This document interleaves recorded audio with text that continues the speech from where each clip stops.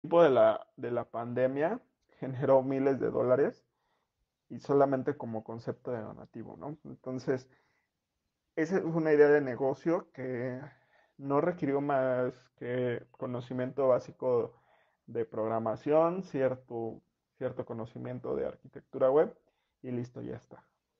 Y de esa manera fue como esa crisis se convirtió en una oportunidad para quien supo hacerlo. Entonces cambió, cambió bastante. Excelente. Y ahorita que nos mencionas todo esto de la tecnología, ¿cuál ha sido el impacto de la tecnología en el desarrollo de negocios? Ya nos mencionaste un poco, pero pues queremos escuchar un poco más. Pues el impacto, ya lo mencionaba yo en la, en la pregunta anterior, fue que se aceleró todo lo que estábamos realizando, el tema del comercio electrónico. En el, a partir de 2015 hubo un auge impresionante en México acerca de el comercio en línea. Sin embargo, el, porcentaje de, estos meses, y eso, bueno, ahí está en revistas como Forbes, El Financiero, lo pueden buscar, eh, en El Economista, eh, aumentó, o sea, de 2000, de 2017 a 2018, el e-commerce creció en 70%. En estos meses llegó a tener un auge, un crecimiento de 300%, solo en estos meses. ¿Por qué? Porque todo el tema de el, las tiendas de conveniencia, llámese supermercados, farmacias incluso, eh, y bueno, las que ya estábamos acostumbrados, como Amazon, como eBay, etcétera, eh, modificaron y aumentaron tanto sus plataformas para entrega como su sistema de pago. Incluso en, justo en los meses que, que se generó el tema de del hot sale y bueno, otras estrategias comerciales, llegaron a existir plataformas que se cayeron por la saturación de, clientes que estaban intentando comprar sus productos. Entonces, eh, cambió bastante, cambió drásticamente. También cambió y se adaptó por parte de la, de, de la tecnología de las TICs el asunto de, las capacitaciones y de las clases en línea. Entonces, ¿por qué? Porque antes, por ejemplo, hablabas de un TEC de Monterrey o hablabas de eh, cualquier otra institución de paga para no entrar en detalles y decías, bueno, pues voy a tener una educación de, calidad o profesores expertos. El asunto fue que todos empezaron a tomar clases en la universidad Zoom, ¿sabes? Entonces, o en, algunos casos de Microsoft Teams o todas estas plataformas que se empezaron a generar, incluso Google le apostó a transformar algo que ellos ya, ya tenían como el Google Hangouts para conferencias en línea, a transformarlo en Google Meet, porque Zoom y Microsoft Teams les estaban ahí eh, persiguiendo el tema de, la plataforma, del uso de las plataformas, ¿no? Incluso ahorita una plataforma como Google Meet ya es gratuita y transformó de Google Hangouts a Google Meet. Y bueno, ¿cuál es la importancia? Pues la cantidad de personas que, con las que puedes sostener una videollamada. Y, y eso también tiene que ver con el tema de las capacitaciones en línea, porque entonces, o de las clases en línea, porque entonces ya te preguntas, bueno, ¿qué caso tiene estar pagando una colegiatura en tal o cual universidad? Si de todas maneras, o, preparatoria, porque fue a todos los niveles, desde nivel básico hasta nivel superior. ¿Qué caso tiene estar pagando una colegiatura si de todas maneras la educación es autodidacta en muchos casos? Porque el tema de sobrecargar a las personas de tareas y de un sinfín de, de cursos, de cosas que son como bucles repetitivos, pues en realidad no tiene sentido. El tema aquí es que la tecnología nos obligó también a, capacitarnos en muchas cosas. Entonces empezaron a generarse y a transformarse todos los, puestos laborales incluso. Y eh, les decía yo hace en la pregunta anterior, bueno, en la parte anterior, que cambió mucho el sentido de cómo hacer negocios y justo es porque empezaron a generarse nuevos puestos de trabajo. Entonces, eso es un dato que sacó Manpower eh, a, mediados de mayo. Entonces, Manpower señalaba que pues ya no había puestos como por ejemplo cocineros o hotelería, que fue la parte más afectada, el sector turístico. Principalmente, les decía yo, el asunto de los servicios.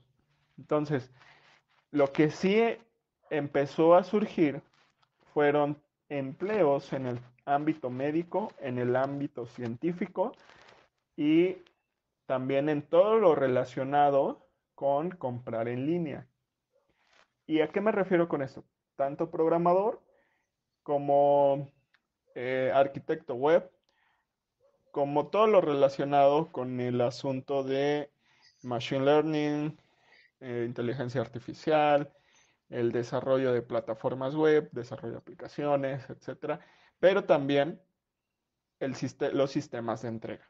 Entonces, tan es así que empresas tan grandes como DHL, Estafeta, etcétera, eh, que tienen una inmensidad de, de, protocolos que cumplen con entregas y etcétera, se vieron rebasados y tuvieron que empezar a contratar, a subcontratar ellos mismos a otras empresas que les pudieran hacer las entregas porque no se daban abasto.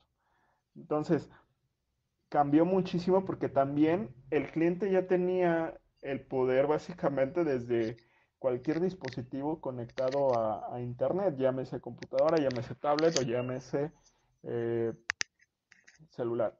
Eso por un lado. Y por el otro, empresas tanto de desarrollo de aplicaciones como de capacitación, empezaron a liberar cursos, empezaron a liberar sus apps, su software, para que la gente en este tiempo de cuarentena las adoptara. Eso es impresionante y eso cambió totalmente de muchos aspectos de nuestra vida. Entonces, son cosas que definitivamente debemos de, estar considerando y de, estar pendiente en cuanto a cómo aceleró la brecha que, teníamos hace unos años a lo que en menos de seis meses nos hizo realizar como humanidad. Entonces, nos cambió totalmente, esa es una realidad. Y ya hoy en día la tecnología está inmersa dentro de nuestros procesos. Lo que debemos de hacer, quienes todavía no, no, no lo conocemos, es empezar a capacitarnos, empezar a adoptarlos, empezar a trabajar y ver de qué forma las podemos ocupar para la profesionalización de nuestras actividades cotidianas.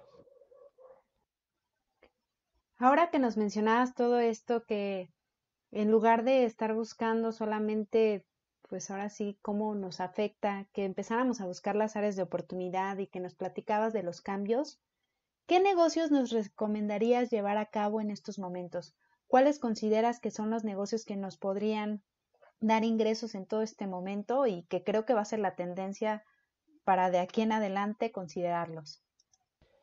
Pues mira, el asunto de qué negocios les sugiero,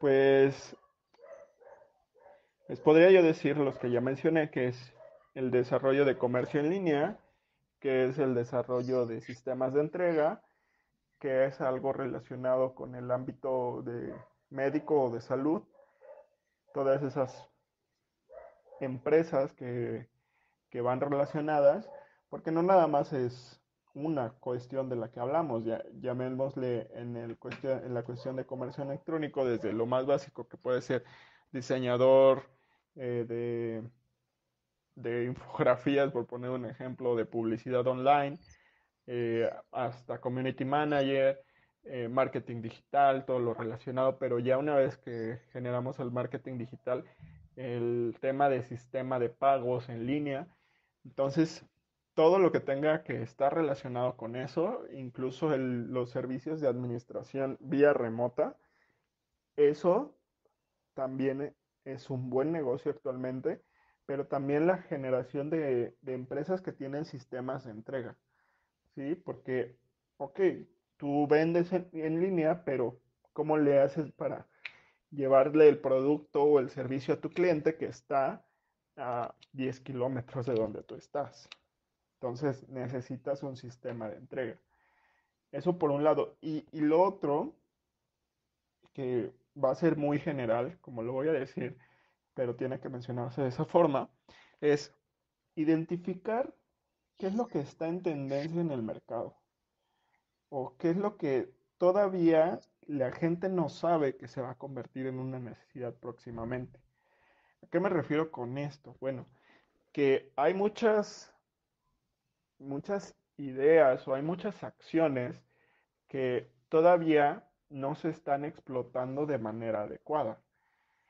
Hace unos seis meses, en enero quizás de este año, pues todavía el tema de community manager no era tan eh, adoptado por todas las empresas. Hoy en día pues ya hay muchísima gente que lo está adoptando cada vez más, que está capacitándose y también incluso el tema de eh, poner una escuela en línea o poner, si te dedicas a las bienes raíces, generar plataformas de bienes raíces. No nada más que me hago un WhatsApp Business y empiezo a vender bienes raíces, sino realmente darle toda una experiencia al cliente de sentir que está ahí.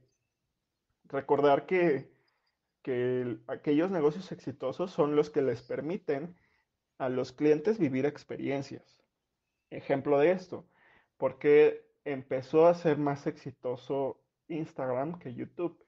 Bueno, porque Instagram les generaba una mayor experiencia a los usuarios que estaban dentro de la plataforma.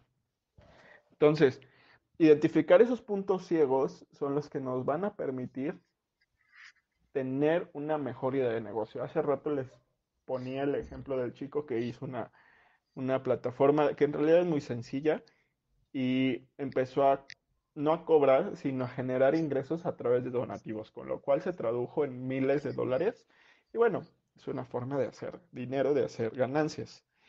Ese tipo de negocios son los que van a generarse eh, en los próximos meses, en los próximos años, porque ya la realidad es que nos subimos este tren, ya no nos podemos bajar y tenemos que, ir para adelante, recordando, no para ser competitivos como país, sino para ser competitivos a nivel mundial. ¿Sí? Entonces, debemos de buscar, de dejar de creer ese punto ciego en el que vamos a ser competitivos entre nosotros. No. Igual que la pandemia, esto ya es global. Debemos de pensarlo de esa manera también.